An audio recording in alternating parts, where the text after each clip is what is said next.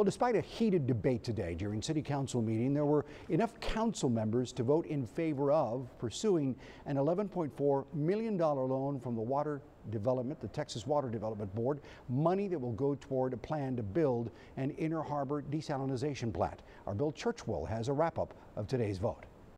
Finding an alternative water source is something the city of Corpus Christi has been seeking for decades. On Tuesday, city staff recommending the council's approval of an $11.4 million loan from the Texas Water Development Board to build a seawater desalinization plant. This shows an estimated breakdown of how the $11.4 million will be allocated. Staff saying the plan is the most cost effective and responsible solution to having a future water supply in the face of droughts and continued development.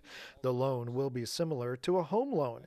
The financial agreement is one of two parts of an expected total $222 million loan, but not everyone was ready to jump on board with the plan. Council member Gil Hernandez saying there hasn't been enough information provided and he wasn't alone. Things have been delayed, uh, obfuscated, and just overall disappointed in this whole process. I believe any decision we make that we're spending a taxpayer dollar, we have to know the cost, in this case, of the alternatives to what we're spending today. Again, we're, we're, we're not hiding anything.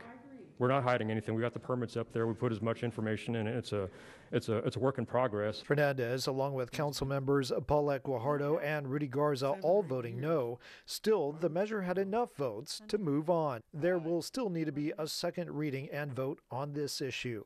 Bill Churchwell, 3 News.